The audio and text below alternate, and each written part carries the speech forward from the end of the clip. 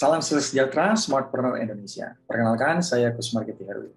Pada video kali ini, saya ingin menjelaskan tentang uh, bagaimana Anda bisa menggunakan timeline life Anda, garis kehidupan Anda untuk Anda mencapai sukses sehingga Anda bisa mendapatkan apa pun impian yang Anda inginkan. Ya, perhatikan. Ya, dalam kehidupan Anda, Anda pasti memiliki ketakutan ya ketakutan ini saya gambarkan dengan api yang panas ya yang bisa Anda dapat dari masa lalu Anda. Ya ketakutan-ketakutan ini datang dari masa lalu Anda dan itu merupakan histori. Sudah merupakan sejarah masa lalu Anda. Ya, tapi kadang-kadang Anda masih terus memegang ketakutan ini sampai saat ini. Dalam kehidupan Anda, ya, Anda memiliki yang namanya impian impian ini yang uh, sering Anda inginkan untuk Anda capai dalam kehidupan, tetapi Anda merasa tidak yakin, tidak mungkin, bahkan Anda lupakan itu menjadi satu hal yang membuat motivasi Anda jadi lebih uh, meningkat. Ya, perhatikan. Ada orang dalam kehidupannya bergeraknya menjauhi ketakutan. Orang-orang ini kita sebut orang-orang yang moving away dari ketakutan dia memang punya keinginan, tapi dia berjalan mundur sebenarnya. Dia melihat kepada ketakutan, menjalan jalan mundur, menjauhi ketakutan, menuju impian. Begitu api dari ketakutan itu telah jauh, dia tidak terasa panas lagi, di situlah dia berhenti berjalan, ya karena dia tidak melihat impian yang ada di belakang dia.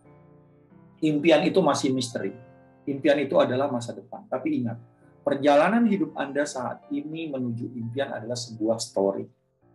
Ada yang bertanya kepada saya, terus bagaimana supaya kita bisa mencapai impian? Terus ingat, kalau Anda ingin mencapai impian, baliklah badan Anda.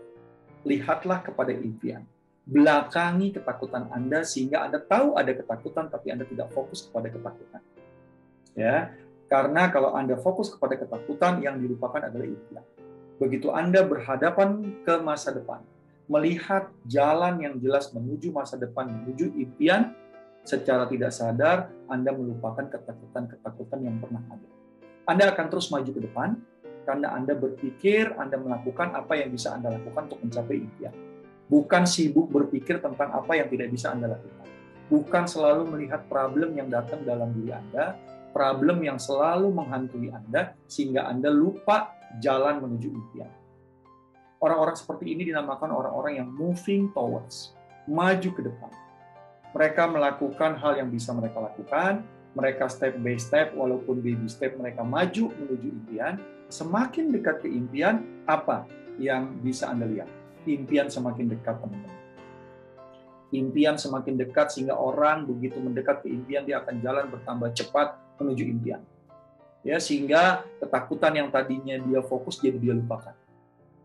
Kalau orang jalan mundur teman-teman, orang jalan mundur seberapa cepat akan kalah dengan orang yang jalan maju ke depan. Ingat, kalau Anda fokus kepada apa yang Anda ingin capai, Anda akan terus cepat jalan ke depan. Tapi kalau Anda fokus pemikiran Anda kepada apa yang tidak bisa Anda lakukan, kepada yang Anda takutkan, kepada apa yang Anda menjadi problem, Anda tidak akan pernah ke mana-mana. Carilah solusi untuk mendapatkan opportunity. Jangan selalu mencari solusi untuk setiap problem yang Anda hadapi. Begitu Anda mendapatkan satu solusi terhadap satu problem, Anda akan mencari satu solusi lagi untuk problem yang lain. Tapi begitu Anda mendapatkan satu solusi untuk mencapai opportunity yang lebih baik, banyak problem yang terselesaikan, teman-teman. Ingat, Allah memberikan kita mata dua, kuping dua. Mata letaknya di depan, teman-teman kita nggak bisa menengok 180 derajat, tapi kita bisa menengok ke kanan ke kiri untuk kita bisa mencapai memas mewaspadai apa yang ada di kiri dan kanan tetap maju ke depan.